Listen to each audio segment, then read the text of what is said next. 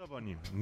Artur Sobonin, wiceminister inwestycji i rozwoju państwa i moim gościem. Dzień dobry panie ministrze. Dzień dobry panie redaktorze, dzień dobry państwu. Jednocześnie czynny polityk Prawa i Sprawiedliwości, poseł, żeby nie było wątpliwości. Tak No na, na wszelki pewno, wypadek na dodaję. pewno do połowy października, ale będę starał się, aby być czynnym jeszcze w przyszłej kadencji. Dobrze się pan bawił, słuchając przed momentem wypowiedzi Marcina Święcickiego, którego dopytywałem o to, jaką rolę będzie odgrywała Małgorzata Kidawa-Błońska.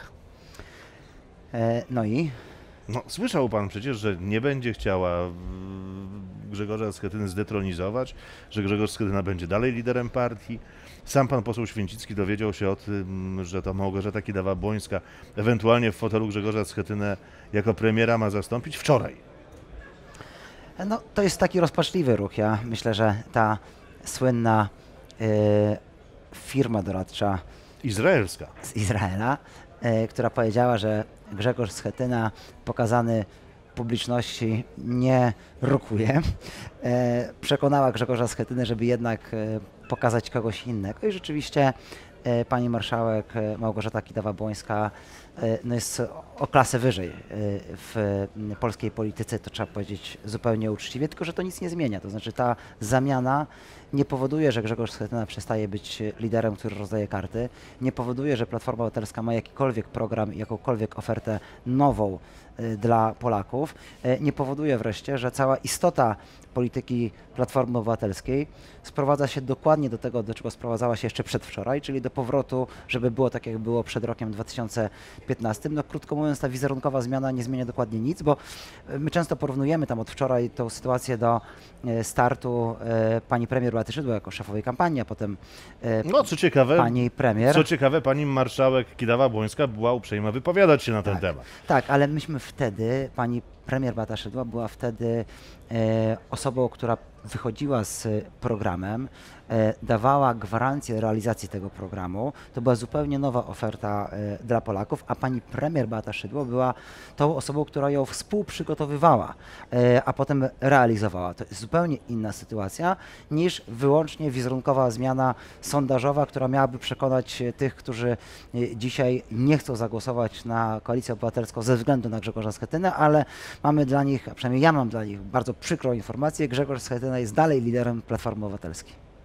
To przykra informacja. Przykra, bo jeśli ktoś myślał, że e, taka wizerunkowa zmiana zmienia istotę, znaczy No to jak za dotknięciem czarodziejskiej różdżki. publika, Był Schetyna, nie ma Schetyna. Otóż publika nie jest tak naiwna, e, ludzie potrafią to ocenić i dzisiaj się głównie z tego śmieją. A co z sześciopakiem Schetyny? Czy to jest już sześciopak Kidawy-Błońskiej? Czy... Czy jest pan redaktor w stanie wymienić jakieś trzy punkty z tego sześciopaku? Jeden jestem w stanie. O, jeden to, to, to jednak coś. Myślę, że ci, którzy nas słuchają, mieliby No a skoro pan zadaje takie pytanie podchwytliwe jednym.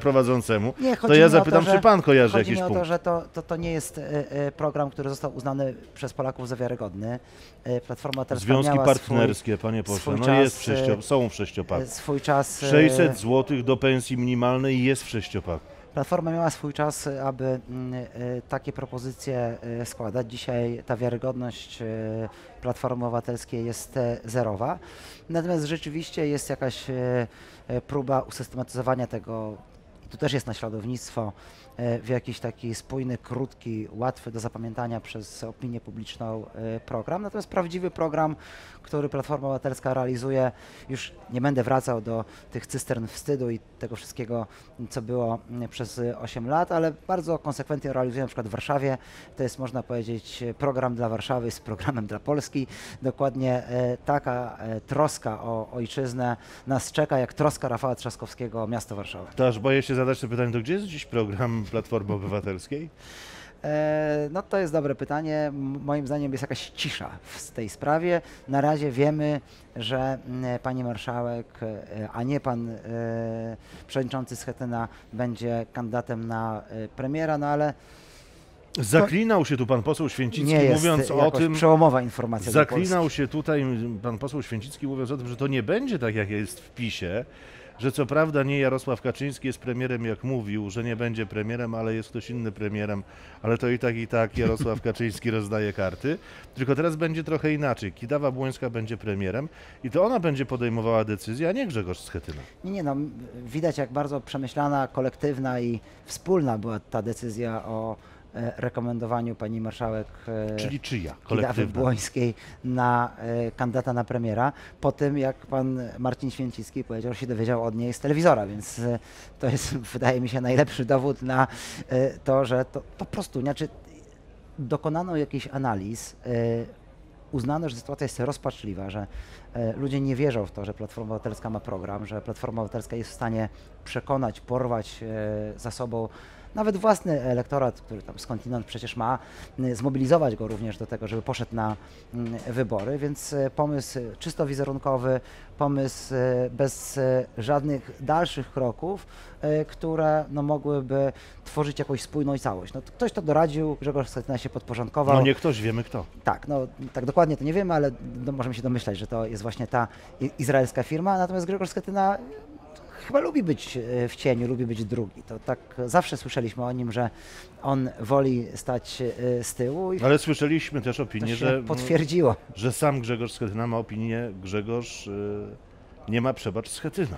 No nie, ale to, e, że ktoś jest e, w drugiej linii, nie, nie oznacza, że jest mniej skuteczny. No to e, znamy tutaj e, różne fronty e, i, i, i, i, wojny e, i, walki, które, które, które, które w historii mieliśmy, więc Grzegorz Schetyna może być skuteczny e, z drugiej linii. No to jest zawsze tak, że w pierwszej linii można łatwiej dostać order, ale łatwiej i kulkę, więc Grzegorz Schetyna dzisiaj rozumiem, że zasłonił się panią marszałek. Jak zasłonił się kobietą? Panie ministrze, co pan mówi? Nie, bez żadnej wątpliwości, moim zdaniem, pani marszałek Kidawa-Błońska jest e, inteligentną i, i, i e, doświadczoną politycznie kobietą jednak. Kobietą. Będę się upierał, że ona jest kobietą. Rozumiem, że wczoraj Grzegorz Schetyna wskazał winną klęski kampanii wyborczej, tak? Do tego zmierzam, to znaczy e, Grzegorz Schetyna widzi, że e, ta sytuacja jest e, beznadziejna i jakiś pomysł, e, co zrobić, no to był pomysł taki, żeby może spróbować sprzedawać to jako game changer. Niektórzy dziennikarze tak to dokładnie nazywali, że to co chwila się pojawia jakiś game changer, a ta gra trwa i trwa i trwa i, e, i Polacy mają o niej e, swoje zdanie i to jest naprawdę zdanie pełne zdrowego rozsądku. E, wydaje mi się, że to jest czysta kalkulacja Grzegorza Schetyny w związku z jego y, szefostwem w partii i w ogóle mam takie wrażenie, że Grzegorz Schetyna na pierwszym miejscu stawia utrzymanie swojej pozycji politycznej w Platformie Obywatelskiej, dopiero na drugim miejscu kampanię wyborczą, program, a już daleko, daleko, daleko jakiekolwiek nadzieje na to, że y, będzie mógł ten program realizować. To, co do tego to chyba Grzegorz Schetyna nie ma żadnych nadziei. Być może błądzę, być może się pomylę, ale z tego co kojarzę, Małgorzata Kidawa-Błońska nie była ani członkiem gabinetu cieni Grzegorza Schetyny, gdzie Grzegorz Schetyna jest pierwszym cieniem, to znaczy jest, pier... jest, jest premierem gabinetu cieni, przewodniczącym, e, ani też Małgorzata Kidawa-Błońska nie stawała w szranki z Grzegorzem Schetyną, kiedy ten ubiegał się o przywództwo w Platformie Obywatelskiej. Byli natomiast Borys Budka i był Tomasz Siemoniak. Żaden z tych panów do gry nie wszedł.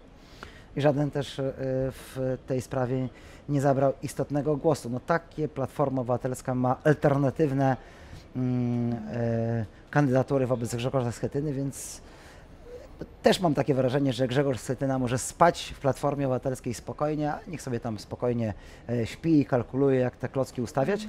To naprawdę dla Polski nie ma istotnego znaczenia, ani dla Polaków. Nie To jest pan e, przedstawicielem ani właścicielem doradczej firmy z Izraela, ale gdyby tak pan po ludzku miał doradzić Grzegorzowi Schetynie, gdzie zakomunikować miastu, światu, y, czy, czy tylko państwu swoją wiadomość o tym, kto będzie wskazany przez Grzegorza Schetynę na funkcję premiera, gdzie by pan to robił? Wczoraj w Warszawie w restauracji jakiejś tam na Placu Trzech Krzyży, czy raczej dziś w Krynicy, gdzie Grzegorz Schetyna przemyka? A ja nie widziałem dzisiaj Grzegorza Schetyny. A, ja widziałem. E, więc, e, więc, e, więc nie wiem, że jest, ale jak jest, to, to oczywiście to jest dobre miejsce, żeby też pokazać e, swoje postulaty wobec przedsiębiorców, wobec rynku, wobec polskiej giełdy, także wobec Polaków, tak żeby im pokazać, że mm, to, co myśmy osiągnęli, myśmy osiągnęli poza wieloma sukcesami w zakresie polityki społecznej, no przede wszystkim znakomite wyniki gospodarcze. Rok 2018 to jest rok, najlepszy rok od momentu odzyskania przez Polskę niepodległości w roku 18, jeśli chodzi o wskaźniki makroekonomiczne.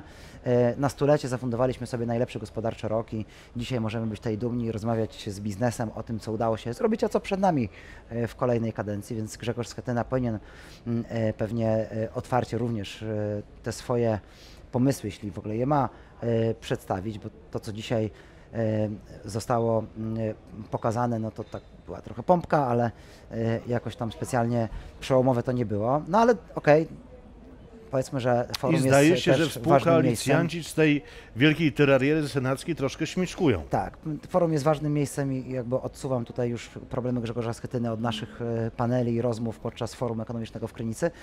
Czy e, forum jest dobrym miejscem na pokazanie kandydata na premiera? Tak, pod warunkiem, że on będzie wiarygodny dla m, zebranych tutaj na forum e, przedsiębiorców. Wiceminister i, Inwestycji i Rozwoju, e, Artur Soboń. I, i, i, osób, które państwa i moim forum. gościem. Mam wrażenie, Doradzał że Grzegorz Schetyna nie był przekonany, że tutaj Szkoda tylko, przekona że że tutaj przekona e, tych, którzy są na forum do pani Małgorzaty Kidawy-Błońskiej. Szkoda, że nie spróbował. Dziękuję panie ministrze, dziękujemy państwu. Dziękuję.